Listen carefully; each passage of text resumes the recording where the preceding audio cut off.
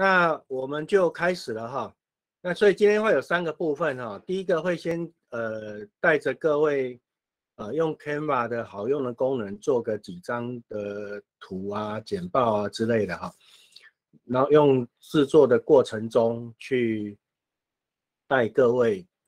呃了解一下 Canva 哈。那至于那个入门比较深入的部分，各位就有机会慢慢再去了解。那第二个部分我们会使用建豪云端出版，啊，它是一个一个公司啊，哈，一家一家企业。那呃做那个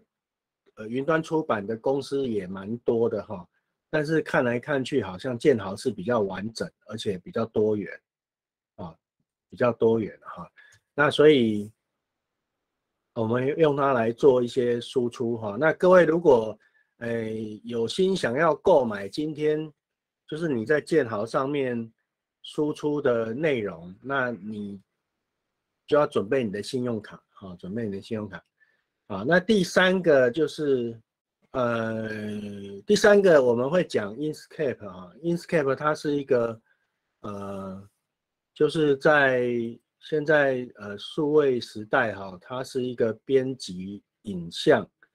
或者是绘图的一个一个软体哈，那不同于 Adobe 全家桶哈，Adobe 全家桶是商业软体，商业软体它第一个费用很贵哈，第二个那个操作上还蛮复杂的哈，那所以呃我们在国中小当然不可能教这种全家桶了哈，就教育局也不可能呃全买那个权限授权哈，这个东西太贵了哈。那虽然现在它有那个月租方案，但是还是贵得让人受不了哈。而且你又不是每天在用，那所以我们就会采用那个自由软体的 Inkscape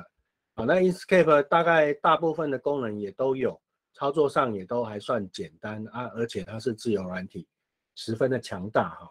那所以我们现在不管是做 3D 做雷切。啊，或者是做一些数位的排版出版，啊，或者是现在连那个 Scratch 比赛绘图都是用向量图的形式，啊，向量图的形式。那所以我们都尽量鼓励学校的老师哈，不要再教小传统的小画家了哈，就绘图的部分就改教 Inkscape，好，因为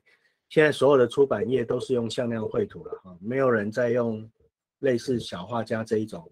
这一种在做做图案的绘制哈，好，那所以这是今天跟各位呃介绍的三个部分。好，那各位就那个 Canva 尽量用 EDU 的信箱注册哈，因为 那个李老师有说哈，呃，如果你用 EDU 的信箱注册是马上就会过关哈，那如果你用那用那个不是 EDU 的注册，你还要拍你的证件。去审核这个会需要一点时间哈，没没那么快了哈。好，好，那我就开始上课喽。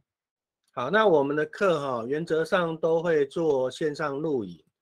然后录完影之后呢，我会呃给我一点时间哈，我会做那个线上的剪辑了哈。啊，剪剪辑完之后，我会丢到 YouTube 上面去，那到时候会再跟。呃，各位说那个位置在哪里啊？通都呃，我的频道一定都会有了哈，所以呃，YouTube 我的频道里面我会放清单哈，让各位去做那个呃做复习啊哈，做复习。好，那么就麻烦各位去注册哈，去注册。那注册部分我就就不讲了哈，这个是现在哎，各位进来之后哈。就是直接按右上角的注册哦，然后最好是用 edu 的身份哈，那各位就到里面去填一下资料就可以了哈，然后呃应该会有认证信吧哈，再收一下认证信应该就可以了。好，那这个部分我就就先这样跳过了哈。好，那我们给各位几分钟，那个还没注册的老师，请你就麻烦注册一下。那注册注册完了，老师就请你登录哈，请你登录。好，那我们稍微讲一下，就是 Canva 哈，它呃其实早期哈，对我们这种没有艺术素养的老师来说，哈，在上课中啊，需要用到一些呃绘图的物件，啊，或者是说你要做简报，或是你的文件，啊，对我们来讲，哈，那个那个美感这一块，一直是我们很辛苦的地方了，哈。你花再多的时间做出来东西，也没有人家那个专业学美术的。那个花十几秒钟就很有 feel 哈，哎，老师直接搜寻邱文胜，然后 YT 就可以找到我的 YouTube 频道哈。那所以呃，像这样的东西早期的哈，呃，像我们要做海报，我们就会使用非常好色啊，那个台湾发明的软体哈。那它还是做好很多的，它的好处其实就是它做好很多的美术型的套版啊。就是很美的套版，那各种呃各种版型都有哈，足以应付你办一些研习呀、哈开会啊，或者是要做一些 DM 哦来来做处理的。那呃非常好色呢，是属于比较中式的美感，哦中国人式的美感啊，就是就是很很粗的那种美感哈。好。那 Canva 呢？它是后来又比较进阶了哈。那 Canva 里面很多很多的功能哈，包含呃 Canva 可以取直可以直接取代 PowerPoint 哈。那其他的呃各类文件的一个印刷品的编辑啊，或者是一些行销用品的设计啊，还有你的社交媒体。啊的一些呃抬头啦，甚至 Po 文啊，好你的这个画画的排版，呃你的你的照片的排版之类的，它都可以帮你处理哈。那它的美感就是属于那种专业级的设计师的的那种美感哈，所以非常的非常的美哈，对我来讲啊。好，那所以 甚至连那个影片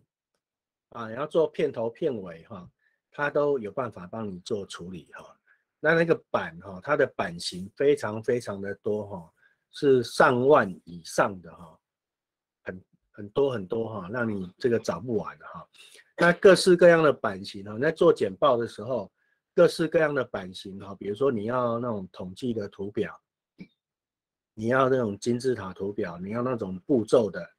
啊，然后各式各样的版型。数量都非常的多啊啊，然后也它的物件也很多都是可以修改的啊，所以你就可以按照你的需求去去找到你最需要的东西，好，然后改成你需要的那个版面好，或者是原件内容，然后你你自己的拍的一些照片，它也可以让你很简单很简单的做一些 去背或者是美术编辑啊，所以。呃，我是今年，哎，今哎，现在七月嘛，对我今年才开始用 Canva 哈，大概是在四五月的时候吧哈。好，那我我也是完全没有美术素养的老师啊，所以从那个四五月开始接触到 Canva 之后，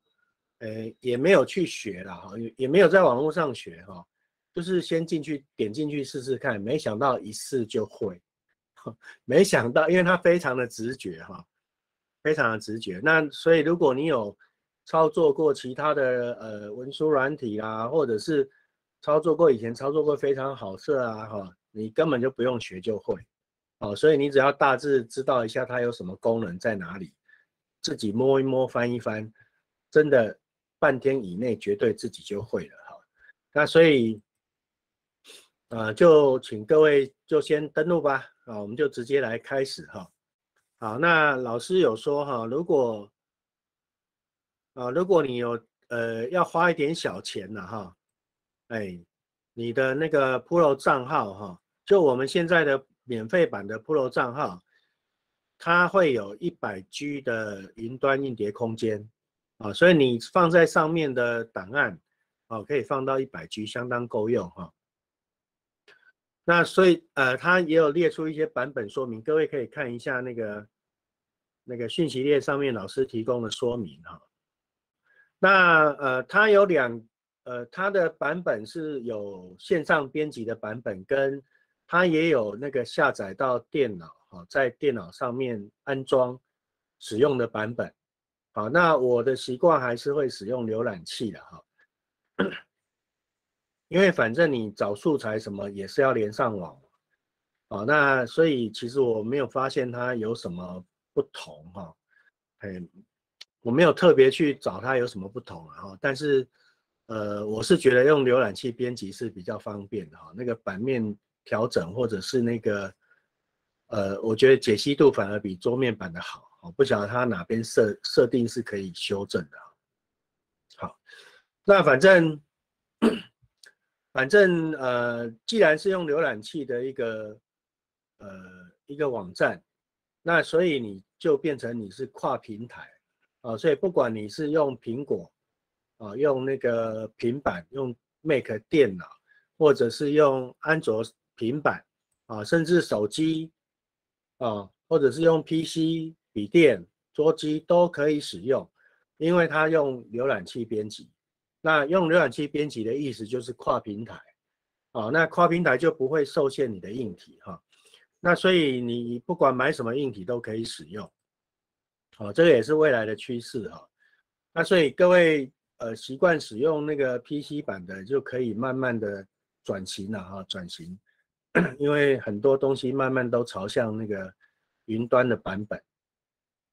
啊，云端的版本。那当然缺点就是，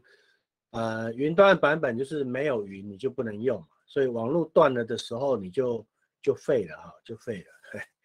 哎，就是五级后不能后了哈。好，好，那哎，不晓得各位都进来了没哈？不晓得各位都进来 Canva 了没？